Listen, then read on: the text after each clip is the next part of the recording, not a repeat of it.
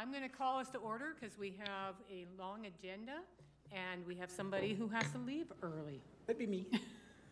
So we will call us to order, and we'll start with a roll call, please, Mr. Westerson. Certainly, thank you. Councillor Carlson, Present. Councillor Dodic, Councillor Middleton Hope. We do have regrets from him. I'm here. Councillor Crowson, I'm here. and I do see that uh, Acting Mayor Schmidt-Rempel has joined us online as well. Thank you. Perfect.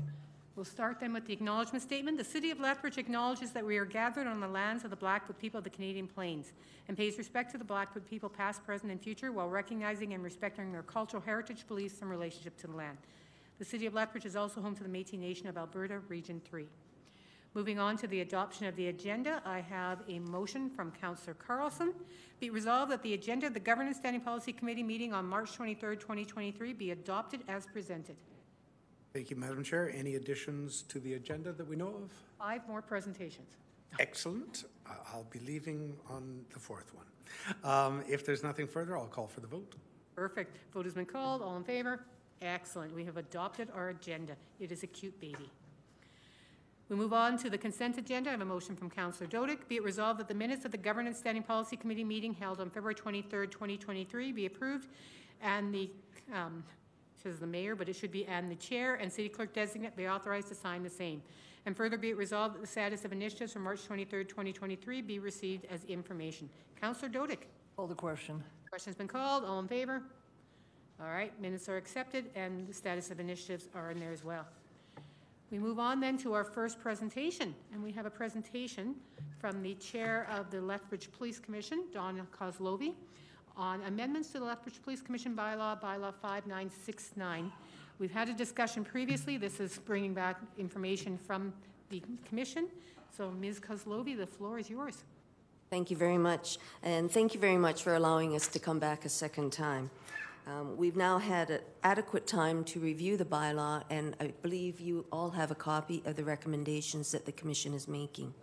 I don't want to belabor this, I know you guys can all read, so I would rather just take questions. I will just say one thing on the preface, so that um, some of these are just housekeeping issues, but some we might have taken maybe a leap too far forward because the Police Act is changing.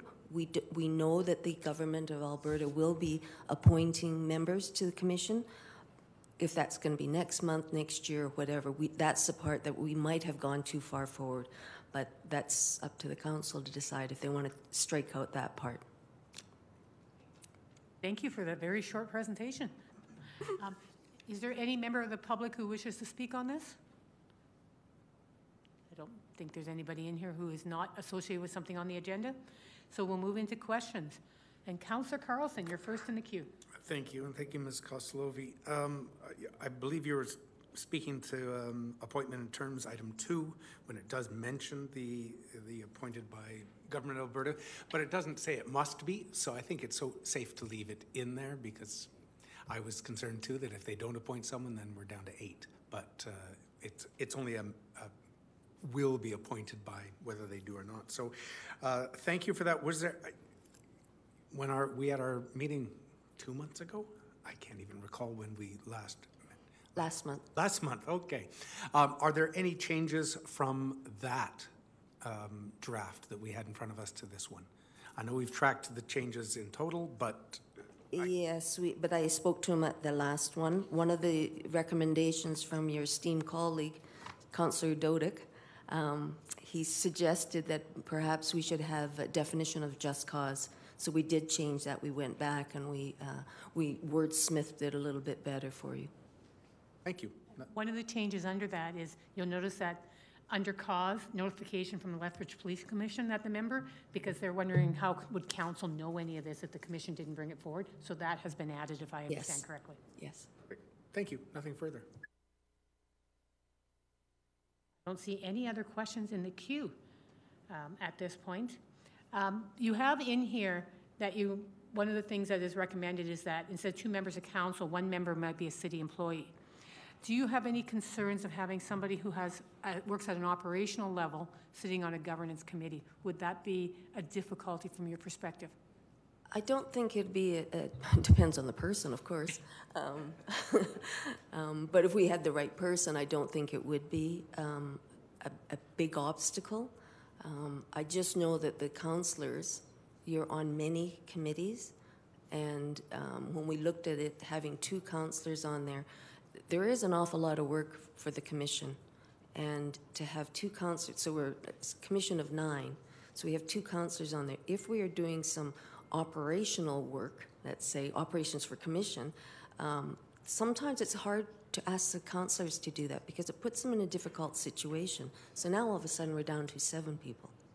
Um, so it's just a recommendation that we thought that would um, perhaps help both the council, so there'd be one less appointment for one councillor, but also perhaps help the commission so we'd have one more, uh, like worker bee. And that is one of the things, I know that your commission has a lot of committees, um, and that you do a lot of work in between your meetings, et cetera. Is nine the maximum number that can be on the police commission, or could there be more to share the work? There could be more under the act. It is, again, up to the council to determine how many they want. I think we can have up to 15? I think under the police act. And then, of course, there'd be so many, those would be provincial, so many from council. Um, Would you recommend more? Would you, is it something that, as, you know, you've been chair now for a couple of months, is that something that you see would be helpful to your committee work if you had more? Or is nine a good number to actually, you know, If, you- if you're asking me as a chair or me as a representative of the commission. Either one. It could be diff- two different things. Um, It's like anything else. Um, It would be nice to have more hands-on uh, or more people to, around the table. But in, in that being said, sometimes when you have more people, it still doesn't mean that the same few aren't doing the, most of the heavy lifting. I got to be honest, right? So uh, again, it's up to the council if they want to have more. Um, it certainly wouldn't hurt. We are getting bigger as a city, so um, for us to be able to repre- truly represent all the citizens, it is a little bit difficult only having seven. right? Yeah, because, you know, sometimes members of council sit on committees and sometimes they don't. All right, I think that is all the questions. I don't see anyone else in the queue. So thank you very much, Ms. Kozlovi, and we will move to the resolution, which is from Councillor Dodic. Be it resolved that the Governance Standing Policy Committee refer this item to administration to include it in conjunction with the future review of the Police Commission bylaw coming out of amendments to the Police Act when proclaimed. So Bill 6 is right now uh, there, and the idea would be to move forward when that passes, or if it passes, I should assume. Councillor Dodic, Call the question. question's been called, all in favor? All right. Thank you very much, Ms. Kozlovi. I hope you'll stay until the um, conversation later on 360, but of course, your decision. We move now to item two, which is on the Reconciliation Lethbridge Advisory Committee and terms of reference update. I believe Ms. Bester is out of the country. Um, Ms. Creighton Fox, is there anything you would like to um, describe about the conversations you've had around your terms of reference and what you're recommending to council, or to committee to take to council? Good afternoon, uh, Mayor and Aldermen. Um, We've been working on this, uh, trying to de- determine the terms of reference for the committee for about a year, and we would like to move forward. I've been with RLAC for the last, I think, two or three years, and I was recently um, named as co-chair, one of the co-chairs. We've had several meetings to discuss the possible ways of moving forward, and we have voted that the committee would like to remain as a committee of council and request for this motion to be passed. This motion was made on January the 20th, and uh, we believe that moving forward with council in a good way, and we are thankful for the extra time council is taking to address this matter. I myself have been in the city of Lethbridge for 31 years. When I first moved here, I never saw the the people I see on the streets today, and we really need to address, help address some of those issues for with the city and for our indigenous members in the city. Um, we've been working on committee structure for about a, a year, and we would like to move forward, and we can, so that we can move with Jason with the strategic planning implementation, and. Um, We know we would work with council values, and we're willing to engage with that. And myself, I believe in working relationships in a positive way versus the adversary. I mean, enough of that. We need to move forward. That's our, our request today as our LAC co-chair. Perfect, thank you very much. And again, is there any member of the public who wishes to speak on this? Again, I don't think anybody's here for anything besides things on the agenda. So we'll move to questions. Councillor Carlson. Thank you, Madam Chair, and thank you, Ms. Creighton Fox. Is it Creighton or Creighton? Creighton Fox. Thank you.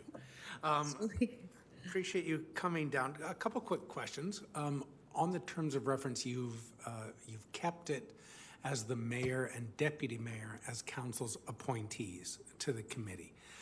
Are there any challenges with that? I know that when I was, uh, last term, um, I was on as deputy mayor for six months, and then somebody else was on for six, and it, it kept causing change in, in the committee makeup and um, maybe some, uh, not dysfunction, but just uh, relearning or getting up to speed. Is that an issue o- uh, that you and your committee members find at all?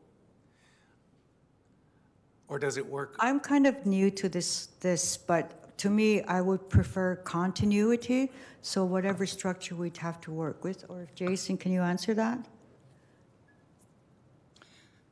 like Ms. Creighton Fox, I'm new to the committee as well uh, as a supporting role.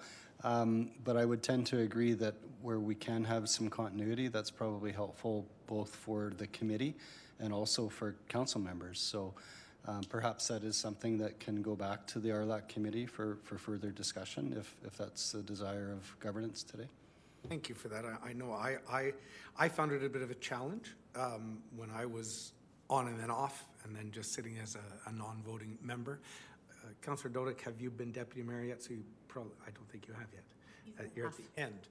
Um, Madam Chair, you've been on this term, or yes, I believe. Uh, is how is it? Am I the only one with this struggle? I actually think more people than you have the struggle. Um, The idea was to have it so that there's a learning for council, so that, you know, you could go there and you learn about what's happening at Truth, you know, at RLAC. But one of the things that we're finding is that it does take a while, you know, you only have six meetings, and only four meetings if you, over the summer. Um, So you don't have much time to actually pick up what's going on, and you may not then be a helpful member of the committee because you're learning instead of doing. Um, And so I know it's been a conversation I've heard from several members of RLAC that they would, wouldn't mind if we considered having, you know, the mayor and then another person who stayed long-term instead of constantly changing, if I'm understanding correctly. So that is a concern that is there. I know it's not suggested in the changes, but I believe it would be a recommendation from RLAC to look at changing how we do our representatives on there. Thank you. Today, are we contemplating uh, sending these to council for a- approval?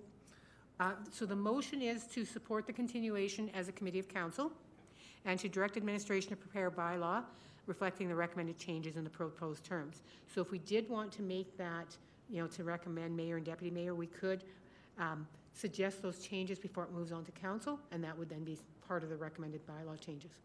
Or we could make those changes when the bylaw comes back. And that's what I was wondering. Perhaps uh, it- it's better to to have it contemplated, and then when we meet as full council, to have that discussion, so that uh, if there's somebody who thinks it's still a good idea, they can make their case at that point, so then I won't be changing anything.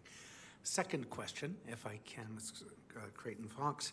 Um, When I read through all the reports, there seems to be an issue uh, achieving quorum.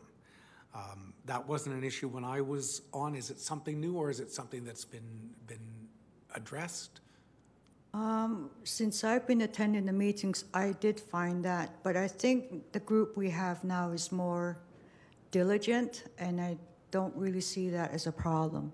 And as I mentioned, Echo gives me an eight o'clock warning call, morning call, and, and as for the other matter, I just, as long as it, with all due respect, it doesn't take more time, because we've, we've been haggling with this issue for over a year, and we need to move forward with strategic planning with Jason. And yesterday, my, my tribe, we lost two more youth to suicide, um, overdose. And every day at my, my I, I'm also the Friendship Center Executive Director, and every day I see our people struggling. And part of this reconciliation, RLAC, for me, is to help that awareness in the city and to work with the city government. And I myself have worked with government on and off reserve, the four levels of government, uh, for the last almost 40 years. Even if I don't look it, I am up there in age. And I know that the stat, I've been asking for, uh, trying to behind the scenes promote that staggered system in governance because our two year and then the four year and then it's just there's always we get stopped. And that's where i find is a really barrier to first nations governance and moving forward. And so with the city i would like to just kind of move forward in a positive way but uh, we've been dealing with this for a year and i'd like to but i'd just like to know how long that would take to take it back to the city as a recommendation. I- My, my gut, or Madam Chair, you can probably I probably think our gut is to not have you send it back, but to send what we have now to our city solicitor for the bylaw and to make that amendment when the bylaw comes back for second reading. Um, And we can have conversations with RLAC throughout that time to make sure that we're reflecting what you actually would like when we make those changes to the bylaw, if we make those changes to the bylaw. thank you is that it No, I have a question. I know one of the concerns I've heard from members of RLAC um, is decision-making within the Indigenous community is done differently than decision-making necessarily at a council committee like this. And one of the reports is to have you operate under the procedure bylaw as your way of making decisions.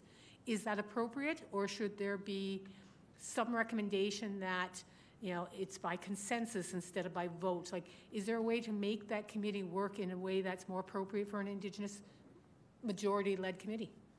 I've been dealing with that with the center. For example, we've got the um, bylaw for you can't smoke in the buildings, right? So we, we have a meeting at the center, and an elder comes in and just lights up a cigarette, and just as an example. And with all due respect, we have to tell them we have to follow the bylaws. So I think there are some, there is room for some maybe policy changes towards that, just to uh, respect the cultural, different cultural values, because we do have our own way of governance. Like, for example, whenever we start a meeting, we smudge, we pray first, so that it's all good. And um, in the city, like my elder tells me, you have to adjust to their governance system. So he says, when you burn the sage and the smudge, you don't have to make it keep burning, just that one strike and then tap it out. But that's the first smudge that goes. That's really important, culturally speaking. So in those ways, wherever I've worked, I've tried to make the adjustments. Are you But I think, Jason, we would have to address that, right? Uh, Yes, thank you, uh, Chair Creighton Fox. I, I would also add that this is something that I think would be an excellent topic for a discussion at, at an upcoming RLAC meeting. R- Remembering that RLAC members are, uh, well, primarily Indigenous members of, of the community, um, there's also non-Indigenous members of the community. So, you know, making sure that there's that, that balance. And I, I think that's what I'm hearing is that where there's opportunity to perhaps recognize more traditional ways of decision-making, that should and could be worked into to our processes. And then at times too, I know the committee has has felt uh, that they've benefited from a little bit more uh, rigor, if I may uh, use that word, to the to the processes to facilitate decision making within the, the processes that council and, and standing policy committees, for example, are, are accustomed to. And I know the balance also is making sure, like, the city clerk's department gets the records of, you know, decisions that are made, but not necessarily how, the like, how the decisions are made. So as long as we have the records, the decision can be made in a way that would reflect the culture better if we adapt that. Is that something you're looking at in the bylaw, or is that something that can just happen at the committee level?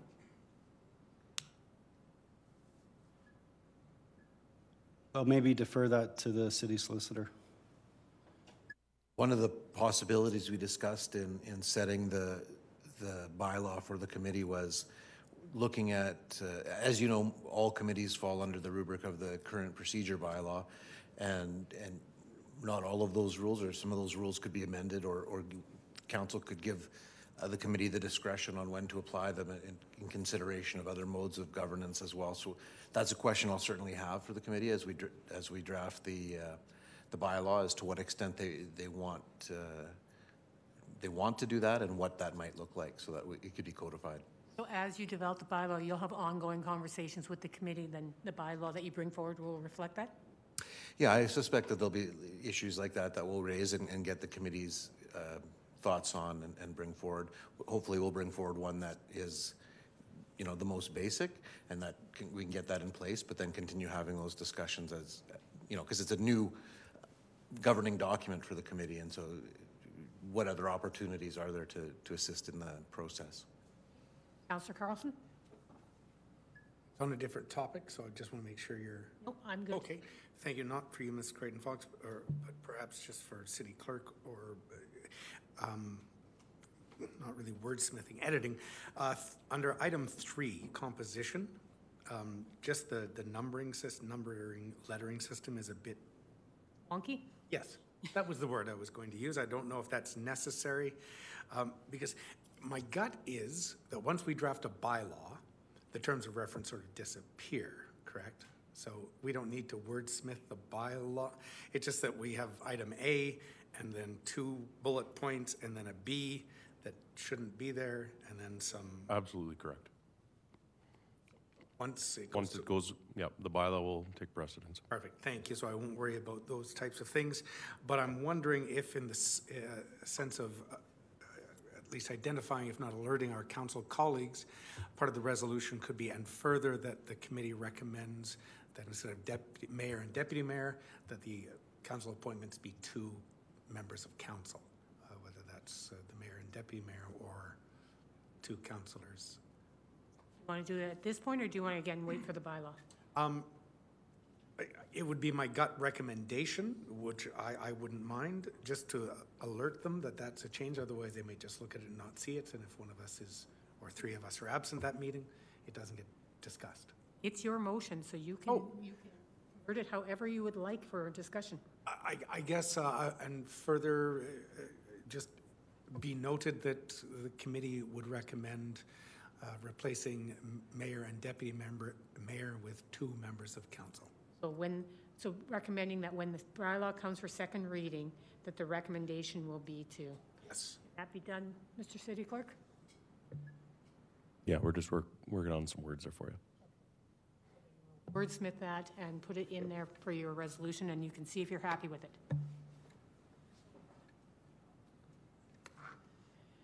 And why would all three of us be absent at the same time, I'm not sure. But he's going on a cruise. I've got a birthday. You're drinking a giant can of brisk. Caffeine today, sorry. It is a giant can of brisk iced tea. I'm not showing it to the public, I'm hiding it behind scenes here.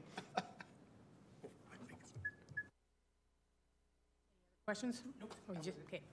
So we'll just give the city clerk's department a few minutes just to put that together so that we all know what we're discussing.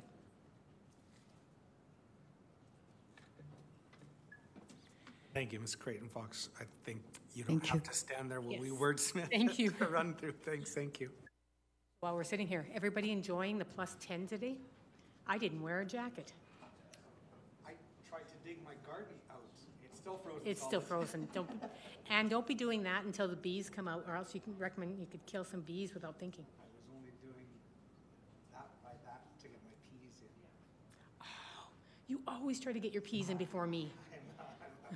The sooner you get them in, the sooner. Counselor Dodic's looking at us like we're crazy.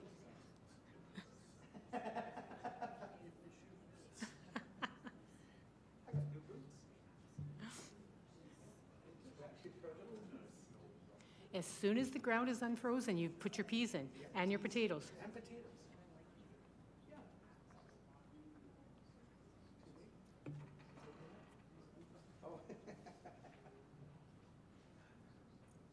Getting big. I can't believe I gained 20 pounds since Christmas.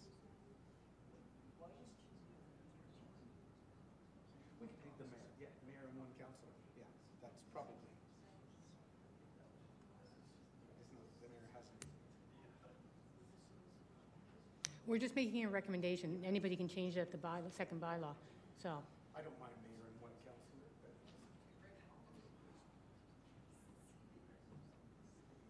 Knowing you can't be on there longer than three years for a term position.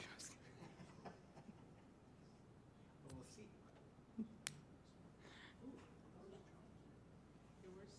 I have no idea, I was just informed he wasn't coming, that was it. All right, so have a read on that? Can you read that with your glasses?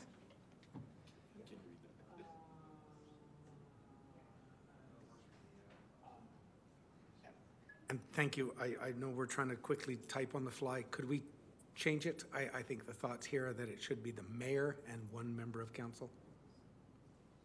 That gives, So it should read the, after reconciliation Lethbridge Advisory Committee as the mayor and one member of city council? I think so. That, that gives even better continuity to the organization because then they know that the mayor is there for four years. Knock on wood. Thinking somebody's going to die on council. I don't want another by-election. And then one member of council. So thank you.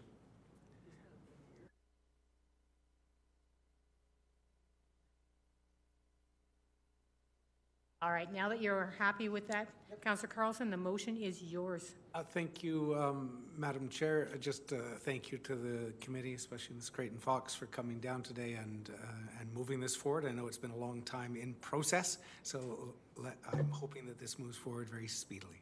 And with that, I'll call for the vote unless there's anything further. Question's been called, all in favor? All right, that recommendation moves forward. We move now to Youth Advisory Council Terms of Reference Update. Um, We have two members of Youth Advisory, Amanda Yang and, or and Andrew Langell. Langell? Oh, Hi, Langell, yeah. Amanda's online, and Andrew is here in the room. Excellent. All right, if you would like to tell us about the Youth Advisory and, and changes you want to make to your terms of reference. Right, well, hello. Um, I'll start and I'll let Amanda go next. Uh, I am a public appointee uh, for the first time at the Youth Advisory Council. Uh, I've been appointed co- co-chair, um, and Amanda is being appointed chair. Um, So we made some changes to the um, terms of reference, but I'll- talk about those after Amanda introduces herself. Thanks, Andrew. Um, yeah, as said, I'm Amanda Dang. The, I was appointed as the Lethbridge School District 51 representative in January 2022.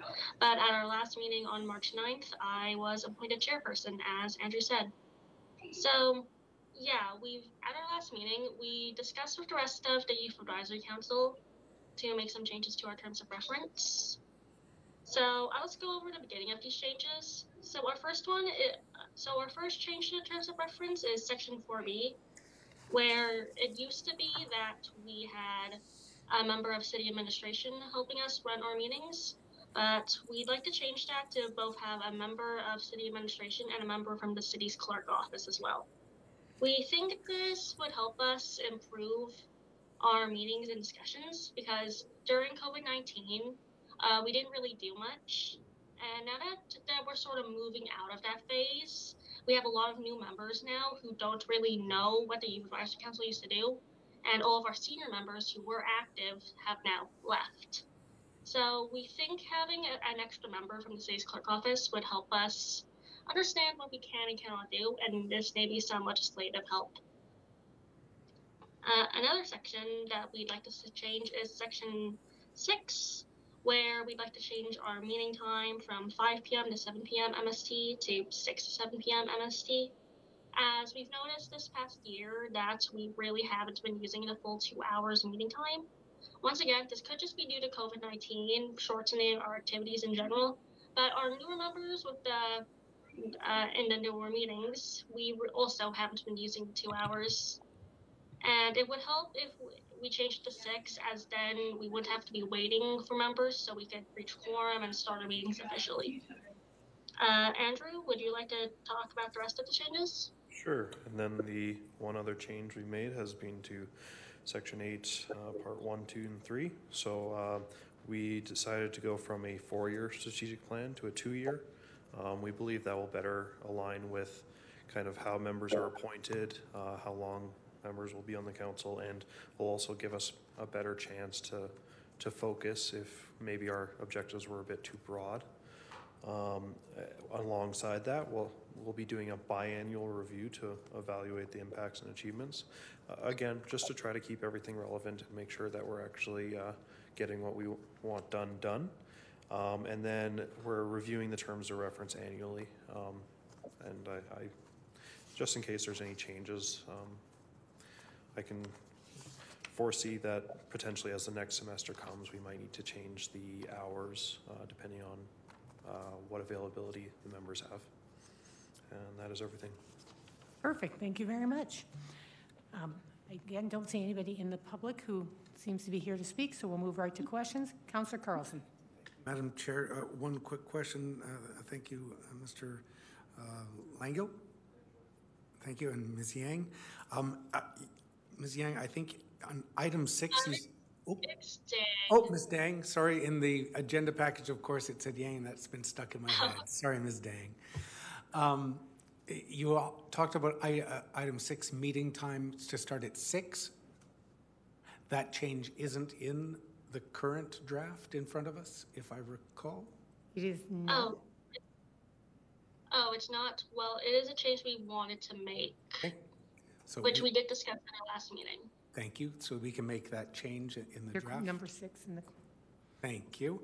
And uh, further question to that, actually, and I, I should have asked this of reconciliation as well. Is it, is, is it common that we put such a definitive time and date in terms of reference? Because I know in other committees I sit on, uh, once we have our first meeting or a meeting or two and we sort of chat and say, does this time work for everyone? And they go, yeah, no, uh, I've got soccer at six, so can we meet at seven? Um, and then all of a sudden that's not communicated, so, but it's in contradiction with the TOR. I just wonder if, if, if keeping a, a firm time and date in a TOR is necessary. I I can, I can I'll Oh, uh, let Amanda yeah. speak to that. Okay, never mind. I, can't really speak for other committees since the Youth Advisory Council is the first is the first and so far only one I've joined in relation to a bigger government body. But I do think stating the time is necessary, as when we do have to start the meetings in the in person, we have to wait for quorum for members, and for that we need the normal meeting time. As a good example of this would be our last meeting, where three of our members were waiting at the city hall for a whole hour, we could just because we couldn't start the meeting because we didn't have enough members show up on time. And six just generally works better for all of our members instead of five.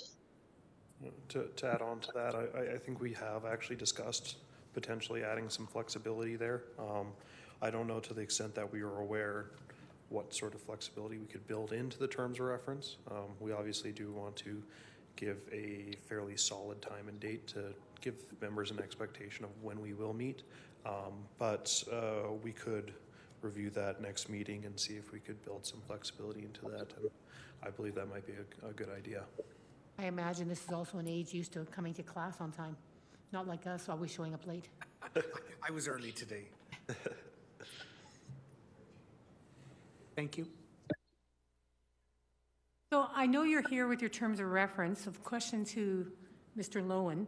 Is this a council committee, should they have a bylaw as well, or is the terms of reference um, nec- uh, enough in this case? The Municipal Government Act provisions, when read together, would, would say that if you intend this to be a committee of council, that it would need to be created by bylaw. Is this operating as a committee of council? There's no councilors on it, but we are the ones who appoint the members.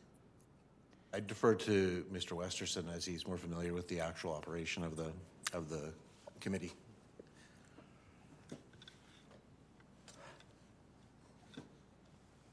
I believe the, the intent is that this is a, a committee of council. Ultimately, that again is, is council's discretion. Do you wish it to be a, a committee of council or, or not?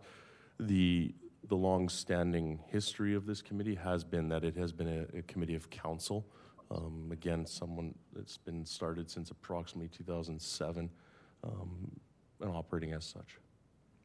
So, hearing that, that you are essentially a committee of council, you're asking for an administrative staff and a city clerk staff, so two members of administration. Would it help your committee if a counselor was on there? I think at the moment we could operate without a counselor, but it is something I would like to bring up with the rest of the members of the Youth Advisory Council as well to hear their opinions. Yeah, just to add on to that, I- I, believe we could revisit that idea. I, I, at the moment, we're kind of figuring out our strategic plan. So at the moment, a, a counselor, if they wish to participate, is more than welcome.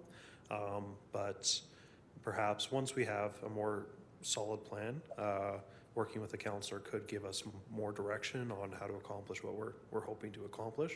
Um, but I, I would defer back to a later date for that. Now, I know that you've mentioned that you've had a long, large turnover in, in your membership, that you're trying to reinvent yourself, figure out what your past, you know, future is. Do you see that having youth advisory as a separate committee is the most effective way, or would it be some advantageous to have some youth on other committees as well, or, or mixture of both? Because do you think your voice is strong enough having a separate committee, or would it be better to look at all the other committees and recommend a youth being on there, or both?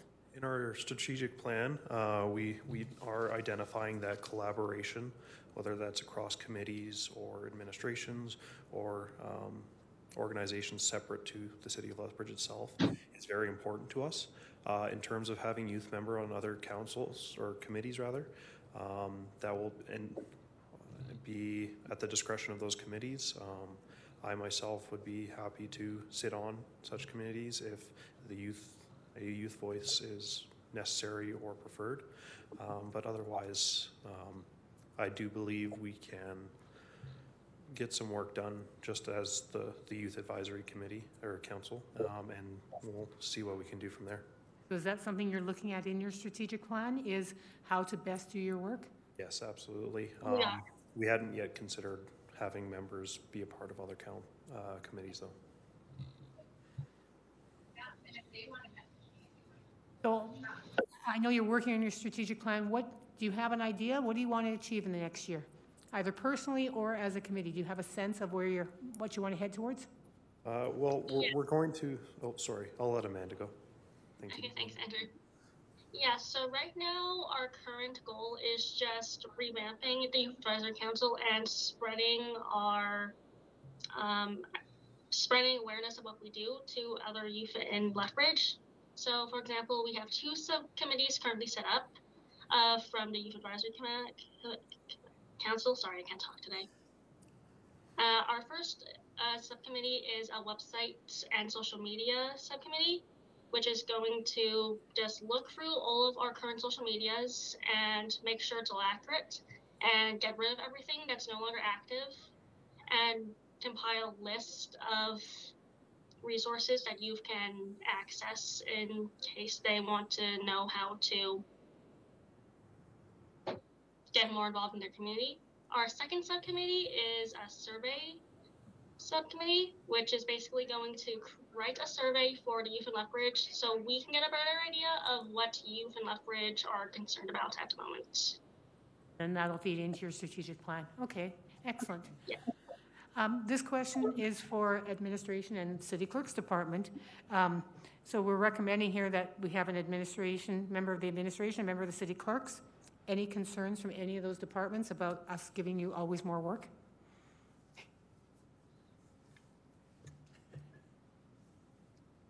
Currently, the, uh, the city clerk's office has been providing um, the procedural advice and support to this committee since approximately 2018.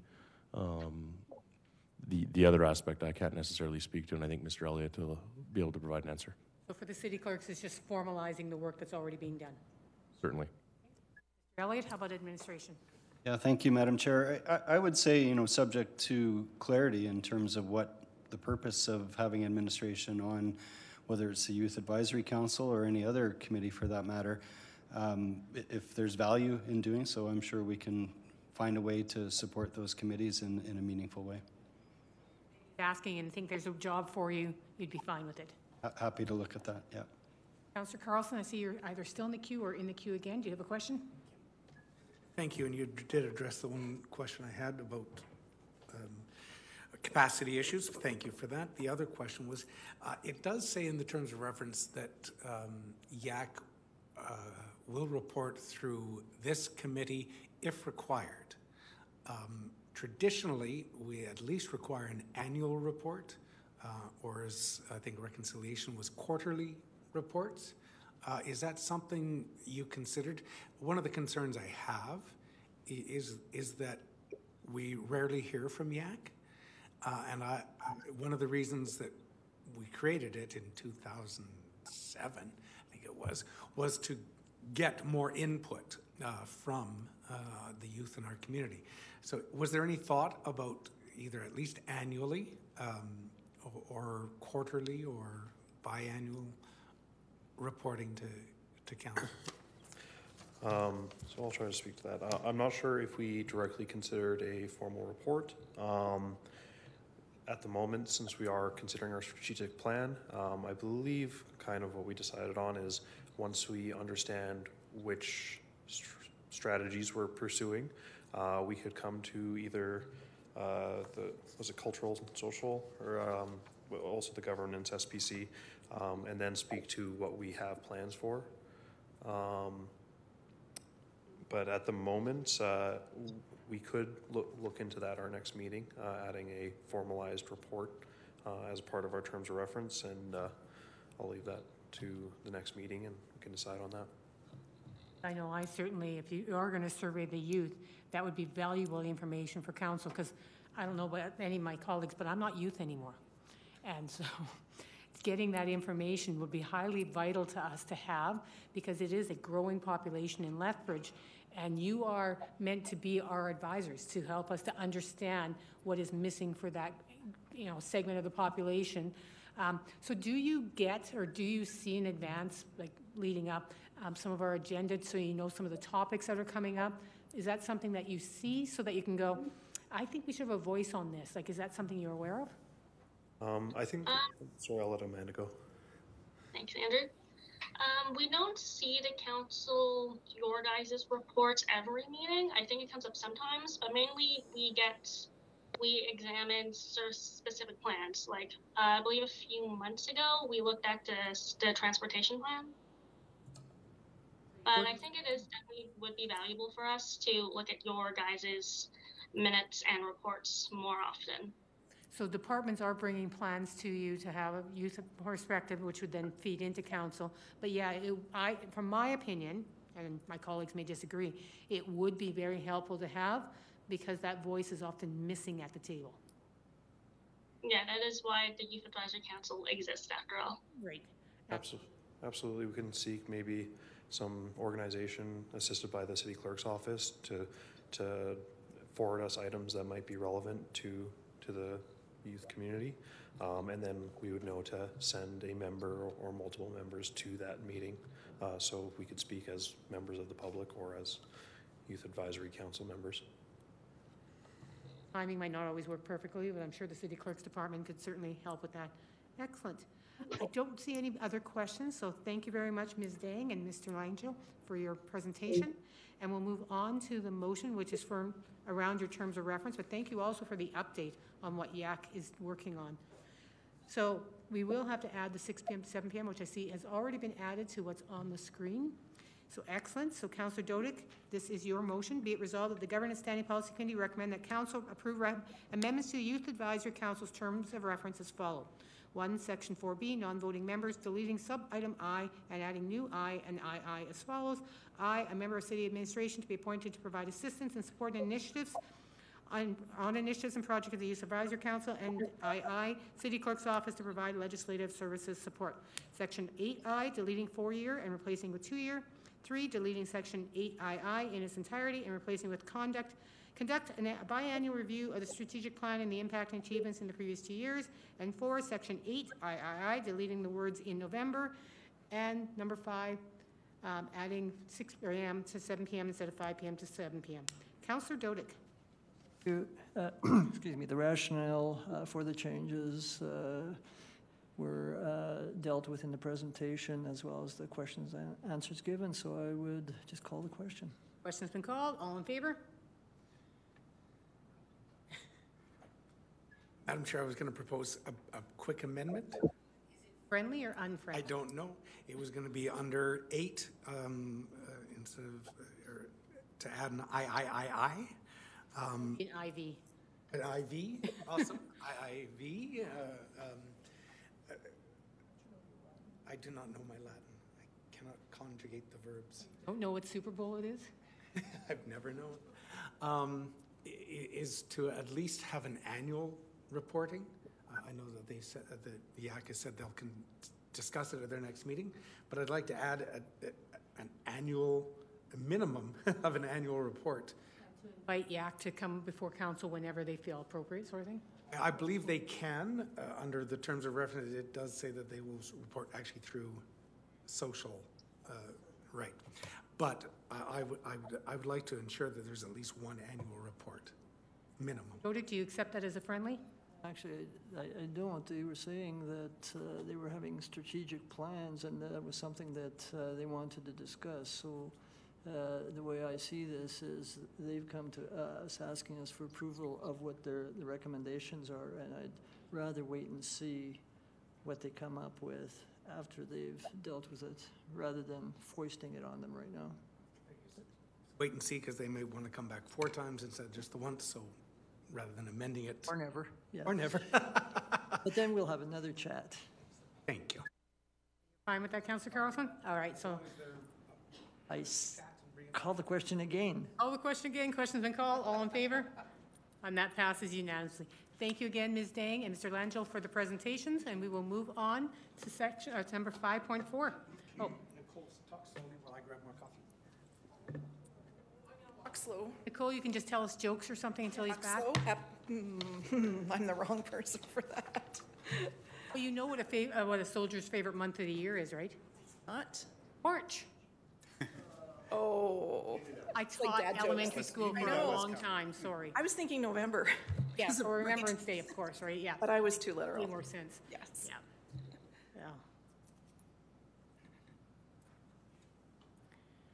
He should have brought a giant glass of iced tea as well. Then you wouldn't have to be running out. I don't know why they sell these in 710 milliliters, because you can never drink them all at one time.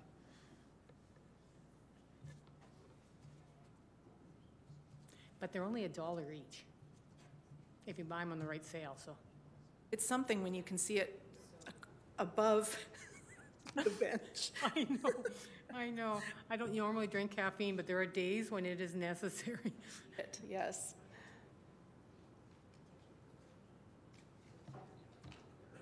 So since we're just sitting here chatting, Ms. Mitten, how are you enjoying the job?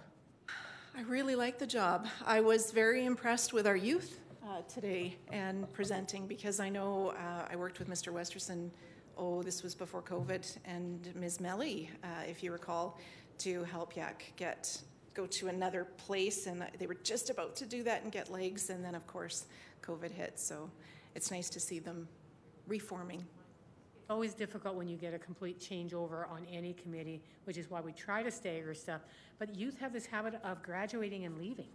Absolutely. That is actually one thing that we're concerned about, and I know that's not the topic here today, but for people in culture, that is something that we're working in partnership with the U of L because we want to retain as much knowledge as we can. Yeah. Excellent. So we have Councillor Carlson back with his coffee, so we will go on to City Manager Performance Review Opportunities and Training for City Council. So of course, every year, City Council has to do an evaluation of the city manager, and we're looking how to do it better. So, Ms. Mitten, the floor is yours. Terrific, thank you. Good afternoon, Chair Crowson and Governance SPC. My colleague Paul Roca, Labor Relations and Business Partner Manager, and myself are pleased to be here this afternoon, responding to the request to discuss CAO performance review options, supports, and related training for City Council. The role of the city manager, as you know, is to act as the administrative head of the municipality, and the city manager guides administration to implement city council policies and advises and informs council on the activities, finance, and legal affairs of the city. The formal performance review of the city manager occurs annually in September, and we are here today to present additional best practices and training to support your regular feedback processes. City Council Policy CC 17, approved back in 2003, has provided guidance along the years of the City Manager Performance Review in a timely, consistent manner and is in alignment with the Municipal Government Act. The policy of City Council identifies that a Committee of Council provides regular formal reviews to the City Manager with confidential results shared with all members of Council. Within the policy, there are clearly defined responsibilities of both City Council and the CAO, and goes so far as to actually dictate that City Council conducts quarterly reviews in February, June, and December, and then a formal written evaluation takes part in September each year. The annual process may include 360-degree evaluations, approvals of four-year goals, and review of annual action plans. Each year, the city manager is expected to participate in those regular check-ins, as well as the formal annual evaluation, in which the city manager and committee of council review annual objectives and review related results. In addition to policy CC 17, we have included in the information package today the CAO evaluation toolkit from CAMA, which is our Canadian Association of Municipal Administrators, and a sample performance appraisal from Alberta Municipal Affairs. These best practice documents provide valuable templates, processes, and evaluation criteria, and we can expect in each appraisal process to see formal discussions about performance, setting goals and objectives for the next evaluation, and an evaluation that supports both professional development and informs compensation. Policy CC 17 identifies clearly defined procedures to, to performing the CAO review, including the initiation process, data collection, timelines, as well as reporting. In addition to those procedures, and supportive of meeting appraisal expectations, CAMA recommends the city manager evaluation consider leadership practices and relationships, meeting of objectives, defining improvement goals, and related supports. Historically, a committee of council has held City of Lethbridge CAO reviews. Some of you have been in the, involved in those to meet policy guidelines. This has included criteria already mentioned, and that being, of course, a review of those annual results and setting of future goals. That's a confidential exercise led by the mayor and the committee. To further support this process, City Council may consider internal support from the People and Culture Department, outside expertise, providing additional resources, training, and evaluation options, which might include 360 degree evaluations with inputs from employees, customers, and City Council, or a blend or a hybrid of any of these approaches. And with our last slide today, within the performance review process, the committee would ensure that the role and the objectives of the CAO are clearly understood by all parties, that the evaluation process is clear, fair, and defined from the outset, and City Council is well informed on how to manage those results.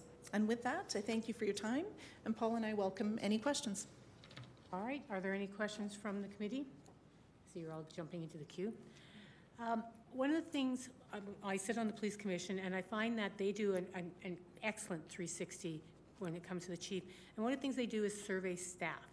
When you're looking at surveying staff as part of it, is there a best practice to, like, what level? Do you survey all staff? Do you survey the managers under the city manager only? Um, And so is there some best practice about the best way to get information from staff on the leadership of the CAO? Thank you for the question. Um, One of the things that we've learned through CAMA is it can actually be formed from your customer satisfaction surveys as well as your employee satisfaction surveys broadly, because as you know, the uh, city council or city manager is responsible for all of the work governed underneath his administration or their administration. Um, key to surveying staff would be people that work closely with the city manager, and then um, we wouldn't broaden that out to 1,500 employees, but we would look at key roles and um, anyone that works to advance the policies that are set forward by yourselves. And is that best done through survey, interviews? How is that best done by best practice? There are a multiple amount of ways that we can do that. 360s offer um, either surveys or interviews. They can offer a blended approach of being able to take data from different types of surveying or interview processes and feedback and feed it into one 360 evaluation. And you could look at that front to include city council members as well, um, as well as your customer satisfaction survey. There are examples of such surveys that could be modified and done quickly and cost effectively? They can be done quickly, yeah, quickly and cost effective. I think has has a balance on the spectrum, but the answer is yes, absolutely, they can be done. We have um, we have executive leadership 360s that we do for a coaching exercise for our executive leadership team, and so having gone through that, it is a they're great tools that are out there. It's finding the right one for your committee of council that does the performance review. And if the evaluation's done in September, would it be something like you do it in June and then you'd have the information? Because of course, we do allow staff to sometimes have vacations, and summer seems to be a time. Absolutely. I would recommend that we don't look at the summer at all, and that we would probably start next month, getting together with the committee, seeing what approach we would like to use, purchasing tools, and surveying for May and June.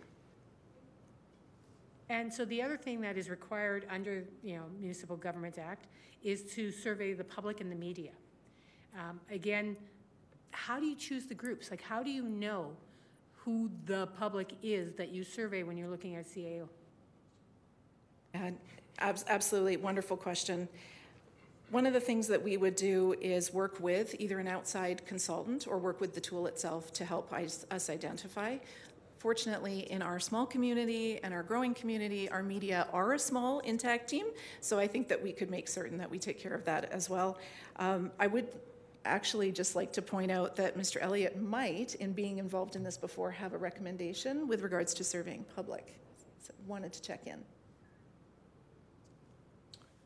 Perhaps as the acting city manager, I ought not to comment today. How would you like to be surveyed? In the past, one thing we've done is um, not necessarily with performance evaluations, but um, I'm thinking of things like interview practices and such. We've, we've identified key community stakeholders in a similar manner that Ms. Mitten is, is referring to key staff and key roles to be considered for a 360. You identify some of your key you know, whether it be fee-for-service groups or other community groups, and look at the, the leadership in those areas that work, have a close working relationship with the city, and you, you, you target some of those folks as key respondents to a 360 survey. Who we work with on an ongoing basis, who'd actually have worked with the city manager. and We sort of have a sense of that. At present, we don't do a 360. We, we do an evaluation that's done by council on best understanding of how things work. What are the pros and cons of doing, continuing the way we are? Because it is cost-effective, it's easy to do. Continue the way you are. You can also look at the evaluation form that we supplied by Alberta Municipal Affairs because it takes, it goes into great depth.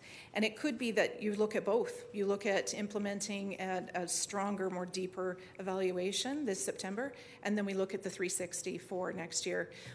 At, at every move, whenever we're doing performance management, and it does not matter who that is, including our CAO, we're always wanting to, it's a conversation, it's a dialogue, what's working, what isn't working, how can we get in your way, how can we get out of your way to be able to help you be more successful in, in running your department or the city in this case. Um, a 360 degree evaluation, if to start off uh, right from the get go in cold, we have a newer city manager, and so I would want to make certain that anyone, it's a, it's a fair process, and that we would ensure that uh, Mr. Brierley would have time with community groups to be able to be assessed. Right, yeah, we don't want to sandbag anybody, that doesn't help in any performance investigation, and he certainly, he's out of town right now, but he certainly has been part of these conversations. We're not trying to do this just because he's out of town today. Absolutely. Yeah, that's, that's job concern for us. Exactly. Counselor Carlson? Thank you, Madam Chair. Thank you uh, for this information. Council approved CC 17? Yes, back in 2003. It came back for a review in '04, I believe, and we are looking at, if there is a need to review, we would come back and bring that for an update. Okay, so the CC 17 that's in the package is our current It- policy. It is 2003's current, current slash current policy, yes. Um, When I went through it, um, and then I went through the, the information from CAMA, the best practices uh, information, were there any, I, I thought it captured it actually fairly well. Uh, Are there any changes that you, you would recommend? At this time, I would recommend that the Performance Review Committee goes through that process with us and People and Culture staff. This is actually why Paul Roca is here, because he would guide the committee to go through the process and ensure that the newer process, the more defined process, is updated to be reflected in CC 17 policy. Yeah. It's very close, though, you're right. Under the procedure guideline, this is the committee that is responsible for making sure the evaluation is done, working, of course, with the mayor, because there's kind of a bit of an overlap there, but this is the committee that is responsible for ensuring it gets done every year as per legislation. But Correct. How it gets done is up to us. Agreed. Um, and now my second question has fallen out of my head. Oh, it it was to do with the training. Uh, There was an offer of training on uh, five or six different bullets. Would that be at this committee level, or is that something for all, account- how would that be accomplished, or is that just read the guides? I, I wasn't, You're you nailing you it. offered training, and I'm like, how is that going to work? Absolutely. I think it's, it's a blend. It'll depend on the approach that we're looking at. So if there is a 360 evaluation tool, we would want to bring that, and you would want to bring that to your members of council colleagues to be able to look at if that's the right choice that we're using. Training will be pretty self-explanatory in terms of being able to read the guide and go through the process. Uh, But we, we would make certain that that very last slide that came up, I don't know, Janessa, if you don't mind bringing up the last slide about training, it really is less training, but it's more about communication. It's more about making certain that all members are headed into the evaluation process clearly understanding what are we doing, how are we going to do it, and can we manage the results that come from that. Thank you. Um, uh, Final question, just to you, Madam Chair. What will we be moving forward with today? I'm not really, We, we have. is this the- just for information, or is this for clarity for administration or clarity for our committee? I, I wasn't, Motion it would be, is actually to direct them to help support. But if we are only comfortable with accepting this information and taking it to our colleagues for further discussion, that's another option. Because we have the quarterly mm-hmm. reviews with the city manager that are built into our system. So I, I'm actually looking for sort of a consensus about how, where do you feel comfortable with? Are people sort of comfortable with the one we have now, which doesn't have any 360? So it's completely council's perspective on the city manager without um, as we're required to do, going out to the um, staff and the media and public? Or are we comfortable moving forward and recommending something to council? So I am actually looking to my colleagues on the committees for going, you know, we, there's not a hurry, because to do this in September, we'll probably use the same one we have, just because of the timeline. So we have time to do full consideration. 360 reviews, um, looking at other organizations that I've been on and other organizations I know, often the governance body is the last to know that there's a problem. Because, you know, they don't see the, the way the staff sees the person in charge, they don't see the way the public sees the person in charge. 360 evaluations are designed to help to get that information, um, and may not be an issue with our community or with our, you know, way we're doing it, uh, but this has been brought forward as another step if council wishes to go in this direction. So it can be, we can have either way. This can be just information, take it back, have a more fulsome conversation uh, with our colleagues, or this can be, we feel comfortable recommending moving forward.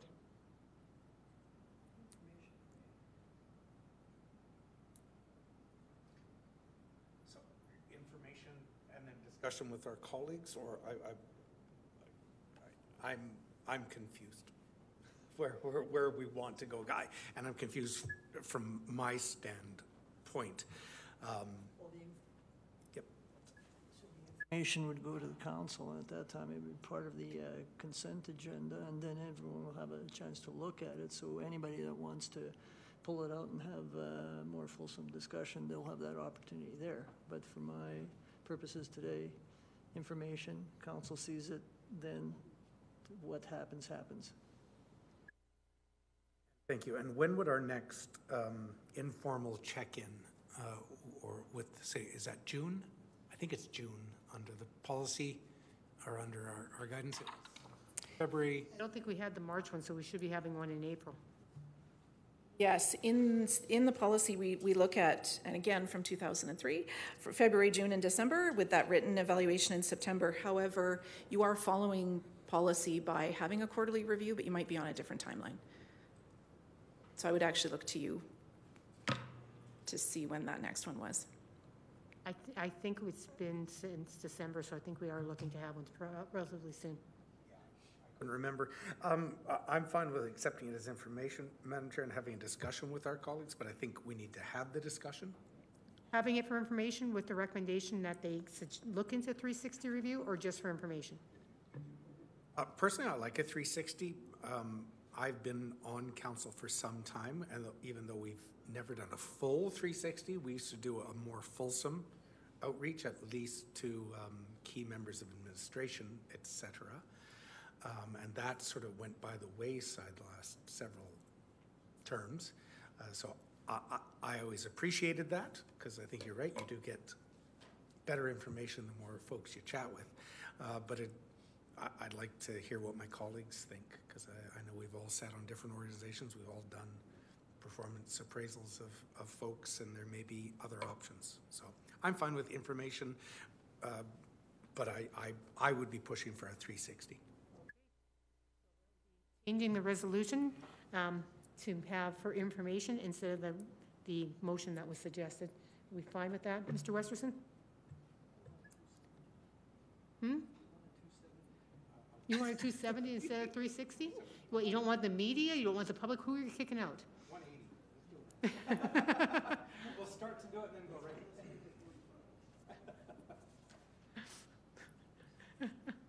We could do a 720 and just do it twice.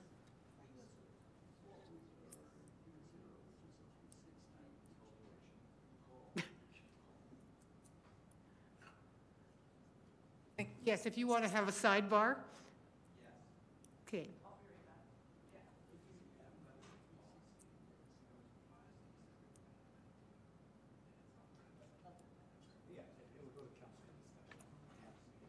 My only, my only concern is, is that doing this a three sixty because it might, be all we're seeing last year. That we have, we're going to utilize the 360.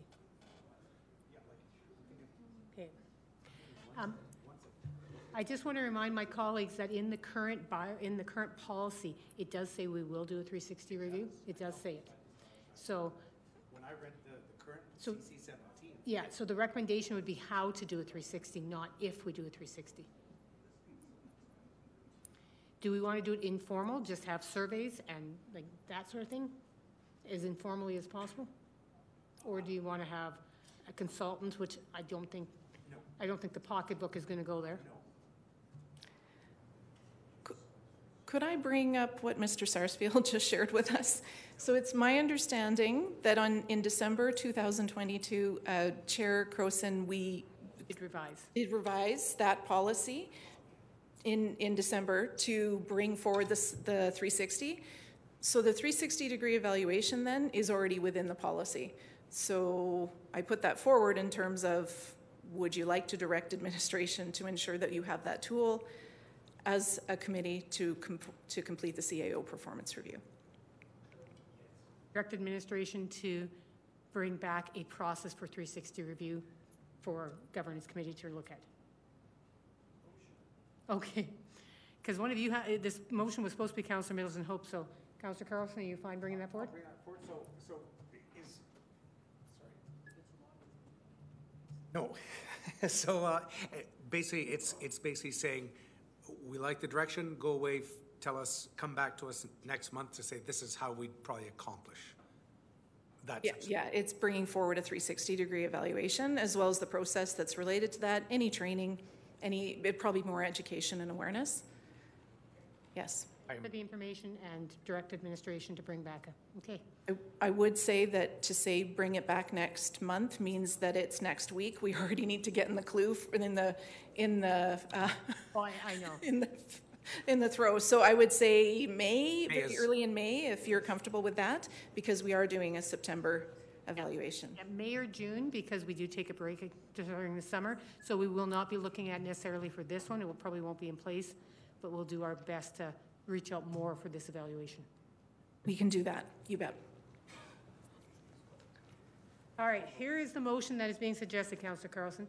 Be it resolved that government SPC recommends City Council direct administration to bring forward a 360-degree performance appraisal process and report back to the Governance Standing Policy Committee by the end of Q2 2023. So they have to the end of March. Love it. Love it, perfect. And so any debate on it? If you debate, he's not voting against, is what I've heard. Question's been called, all in favor?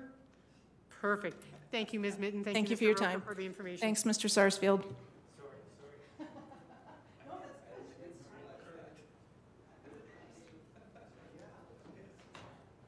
All right, Ms. Hilford, we're moving on to honorariums for public member volunteers serving on council boards, committees, and commissions. All the questions. Who gets mu- Oh,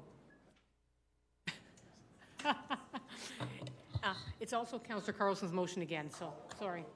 All right, Ms. Hilford, thank you so much for joining us. We are in a punchy mood, sorry about that, but you may proceed. Thank you, Chair Crowson, and good afternoon, members of the committee. If committee desires, I do have a 10-slide presentation. However, it's just highlighting information already in the report, so it's up No, to you. Please go ahead, because I know that we'll have some questions on specifically who you're recommending and who not.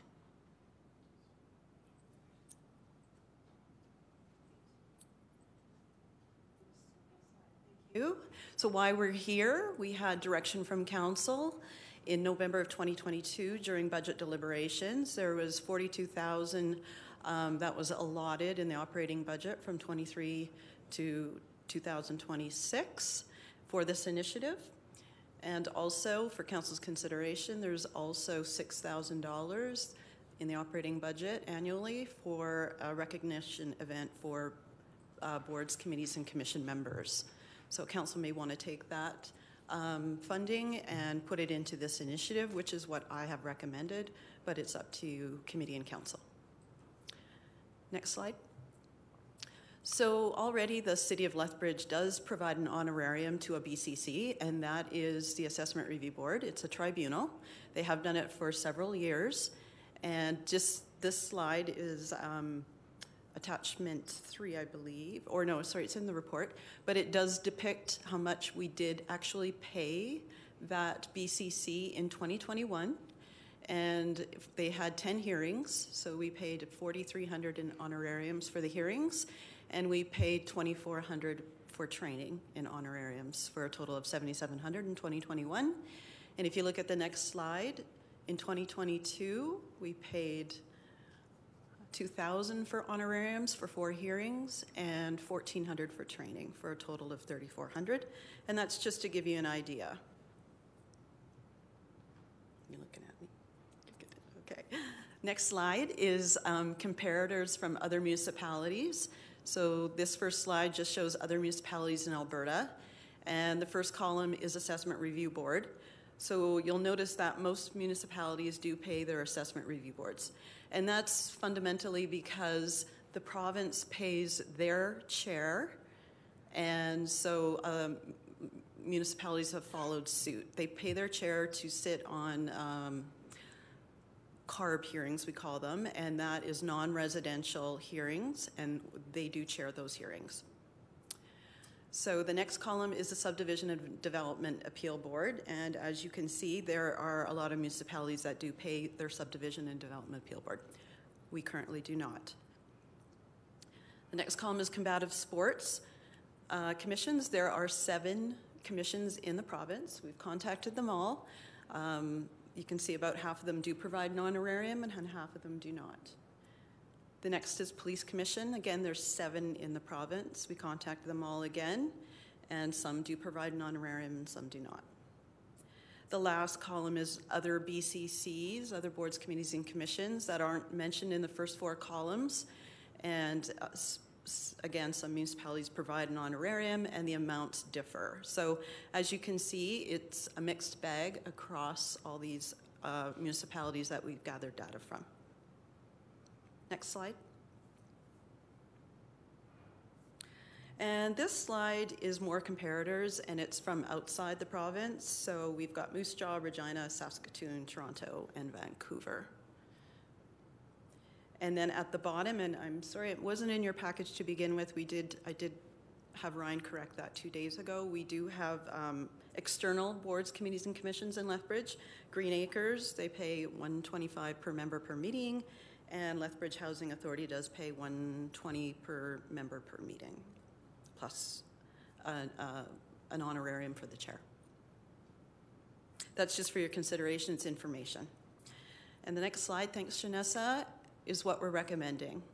So the amounts for honorariums that we're recommending for, and we've broken it up between the different types of boards, committees, and commissions. The first one is advisory committees to council. So those meetings would be paid $25 for a member and $50 for a chair. The second is a board or commission, $100 per member per meeting, and $125 for chair per meeting. The next one is tribunals, and that would be 164 a member and 219 for chair per hearing, and that matches the assessment review board, currently what they're getting. And then we also added in trainings for council's consideration and committee's consideration.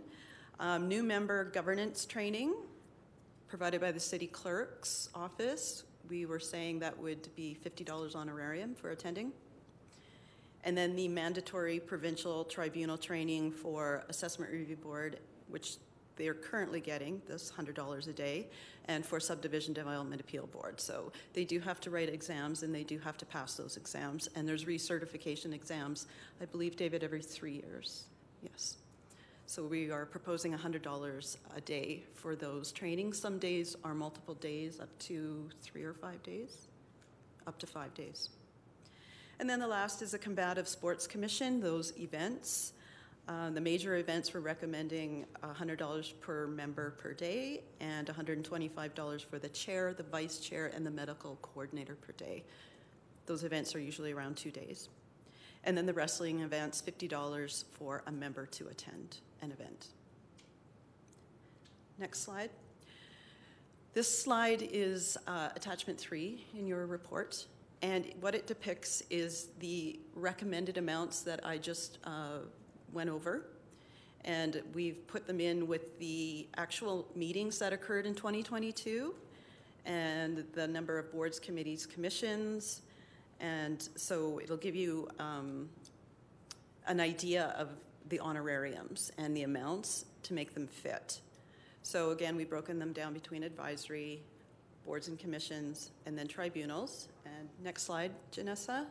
Then the combative sports events, and then finally the training. So the total was $51,000. And then we subtracted 10% because we don't think all the members would not attend all those meetings, obviously. Um, some people can't attend meetings, they have things going on, so we took a 10% um, deduction out of that. And so the estimated was $45,945, which is pretty close to the 48 if council wants to consider that extra 6,000. Next slide. So the recommendations, this is the final slide, and it's what's in your report. Um, that the Governance Standing Policy Committee recommend that Council direct the City Clerk's office to prepare a policy based on the criteria on page six and the honorarium amounts on page five, and then return to uh, committee. And then rescind Council Policy uh, CC 29, the Volunteer Recognition Event Policy, and reallocate the operating funding of $6,000 uh, annually to this initiative. And then third, disband the Aggressive Dog Appeal Board. Thank you. Thank you, Ms. Hilford. Does any member of the public wish to speak on this at this point? I don't see anyone, so we'll move to questions. Councillor Carlson. Thank you. Um, Appreciate the work done on this, Ms. Hilford. Um, Every BCC that we have would now fall under this honorarium policy? Every BCC we have currently, yes. Uh, I did put an asterisk with regards to the downtown business improvement area. Um, apparently, in 2022, that bylaw was amended, so no public member would be recruited by the city. So it wouldn't show up for 2024 because we recruited a member until the end of 2023. Thank you. I, I- it was just for taking the $6,000 out of the volunteer appreciation night, I wanted to make sure we weren't lear- leaving some of our volunteers out in the cold, but they're all sort of They're all included. contemplated. David gave me a look, so. And I want to acknowledge Ryan and David. Of course, they helped me. Three brains are always better than one brain, so I- Thank you. And, and cu- can you remind me again why we're uh, disbanding the aggressive uh, dog appeal committee? All good boys now. Yes, because on page three of 15 of the report, there was a little blurb about that, and I'm just going to reiterate what I wrote. Uh, The appeal body has not met in a few years. There's been a lack of applicants to fill the vacancies on that BCC, and aggressive dog incidents from 2022 were dealt with directly by applying to the provincial court under the Provincial Dangerous Dog Acts. So if you have, if you want further information, I would refer to David or to the city solicitor. We did make that recommendation in, in um, conjunction with the city solicitor and regulatory services. And thank you. So it's not something we're required to have. Uh, There is an alternate line of appeal or, um, and that's to the provincial court, I'm guessing, correct? Excellent. Thank you. David, David has additional, sorry. I was just gonna say though, to, to do that, you actually, it's in the, in the current bylaw, so we would have to amend that bylaw to actually, see, part of the recommendation ultimately would be to make an amendment to that specific bylaw. Hilford, we have some people who are true volunteers, right? They're giving their time willingly on these committees. Then there are people who are kind of told to be on these by their organizations. Um, So if somebody is there already being paid to be there, they would not get an honorarium, is that correct? That is what we did um, recommend in the criteria for your consideration. Um, If they're getting paid by an organization, then they wouldn't get an honorarium. But if council so desires, they, they can. I remember from the museum when we did honorariums, there- there's, there's a protocol to it, right? You have to get people's social insurance number, you have to get information from them. So there would be, part of the policy would be following through on getting all that documentation. Is that, is that going to be onerous for a city clerk's office to do, or is that something that can be easily managed? I don't think it would be onerous. We do have to collect some information anyway from them, like their addresses and such, so I don't think it would be onerous. Well, there's a protocol to follow for honorariums, right? You don't just get to hand somebody an envelope of money. I believe that's only if it's over $500 as well. protocol in there. Um, And pretty much, we- this would be moving us more in line with other communities who do this for their volunteers, or a lot of the committees that we saw on the, Not all of them do, there is some, so it would be in line with those ones that we did capture in the attachment there. I do see that we do have a volunteer in the back. Um, When you're looking at the amount for the work you do, is this sufficient? I, I recognize your committee does a, a lot of work, but does this at least give you some, is this an appreciation you would, you would like to have? Is that the right way of saying everybody likes money? Because you are one of the committees that put in a lot of time.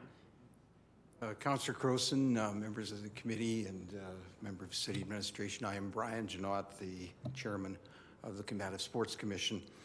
To your question, um, when we had a meeting with uh, Ms. Hilford and Mr. Sarsfield early last month, that question was sort of posed, and what I replied was um, anything at this point would be appreciated, considering that uh, some of us have been at this for years, decades, and um, haven't received uh, anything in regards to remuneration in the past.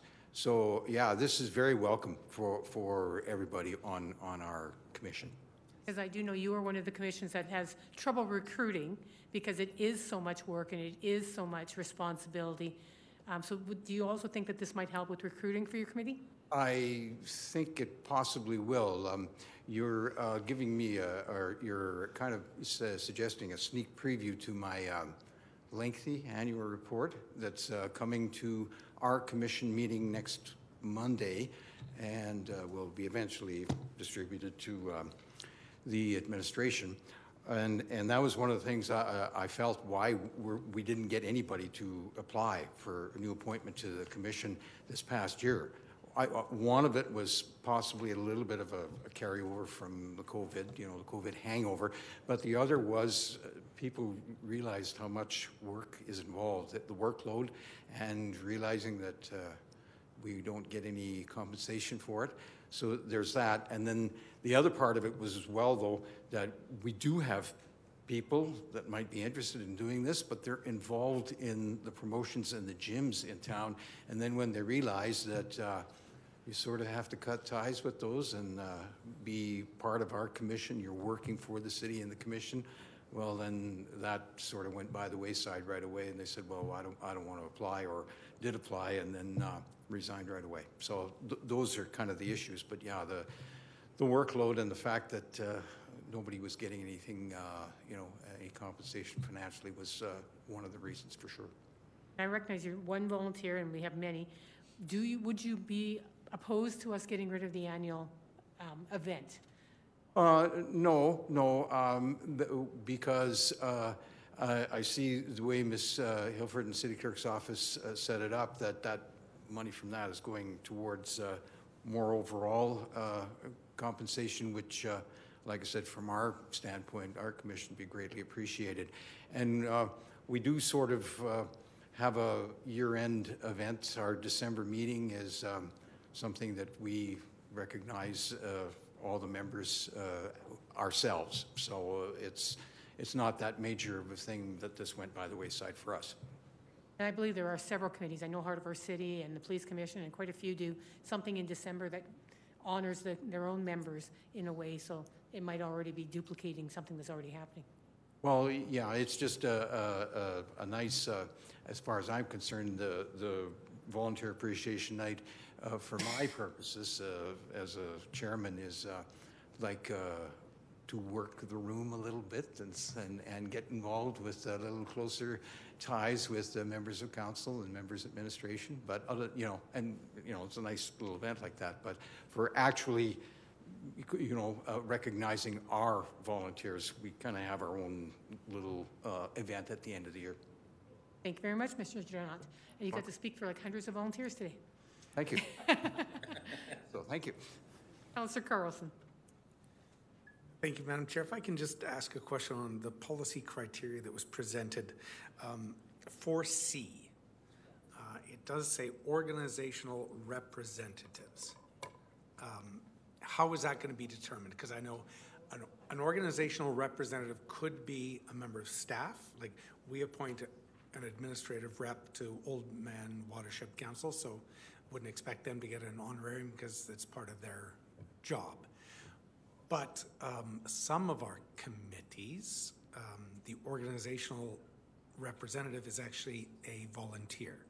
Um, Like if we have somebody from LSCO or Nordbridge, uh, uh, Lethbridge Historical Society, uh, appointed to a committee, um, it would seem to me under 4C that they would not get any compensation. Yeah, that's a really good question, and we pondered that. Um, So organizations that do pay representatives to serve on BCCs, we would recommend that they would not get an honorarium. However, there are organizations that are truly um, volunteer that aren't paid, like Windy City or whatever. We would recommend that they would get an honorarium. So It wouldn't, I just, when I saw 4C, I thought, oh dear, somebody from Windy City or LSCO or Nordbridge is there on their own volunteer time? Uh, They would. And that is taken into consideration in the attachments and the financials that we did provide. Excellent, thank you.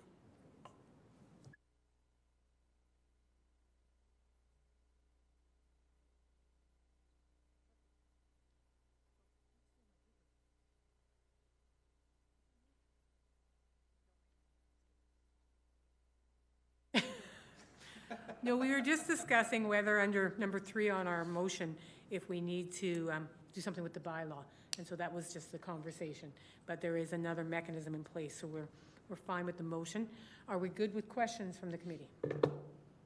Councillor Dodic, I know you have questions. I know you do.